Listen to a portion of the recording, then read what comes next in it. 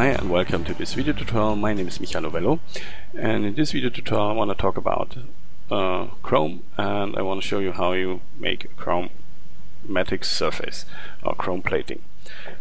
Okay, let's have a look at this picture. This picture is from, Wik from Wikipedia as you can see and Wikipedia is my first choice uh, if I researching on materials because there are images of the materials and it's this there's a description how uh, the material um, is done, how uh, it's manufactured and how it behaves.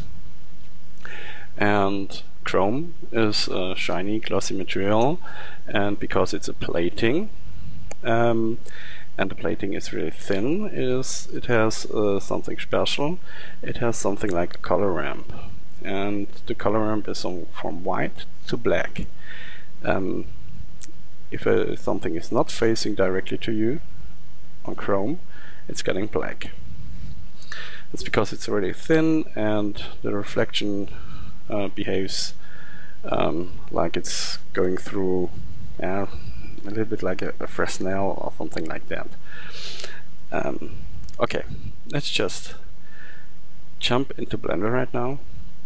And here I have my um, Blender material preview scene BMPS and you can get this on blender.org. Just download the demo files and there you have it. Um, now let's just add a material. Let's call it Chrome and then change the material here and to a glossy material. If you delete the diffuse node and you add a new glossy node, you have a roughness in here. It's I think 0.2.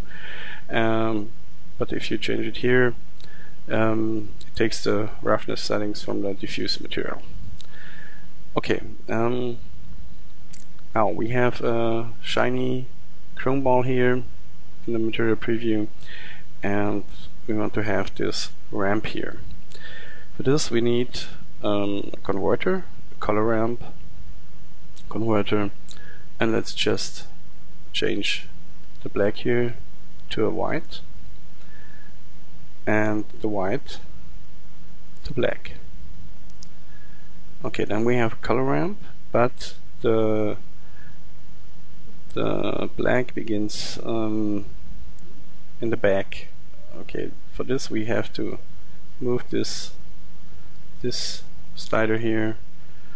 Uh, let's say a little more than the half of the of this ramp here, and let's just change this from linear to ease, so it's a better gradient, and let's let's see um, now we have to enter here some numbers but are um, a factor and the factor comes from a layer weight node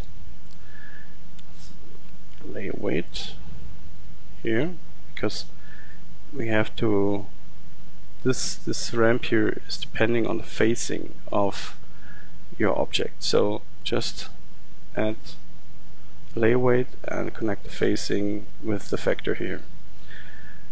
And I think we have to crank up this here a little bit. I tested it and 0.5 is too too low and 0.8 is too much. So I think 0.7 is the right choice of number.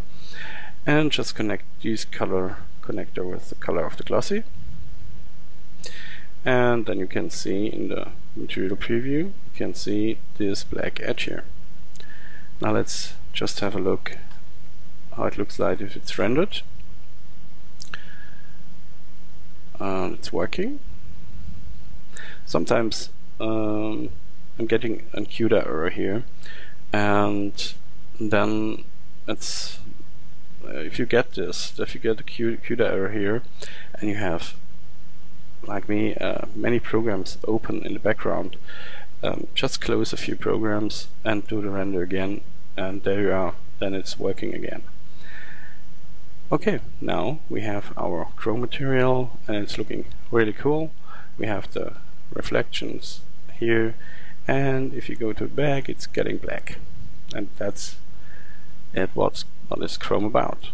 A really reflective material with something like a, a ramp on it from reflective to black. Okay that's it. Thank you for watching and see you in the next tutorial. Bye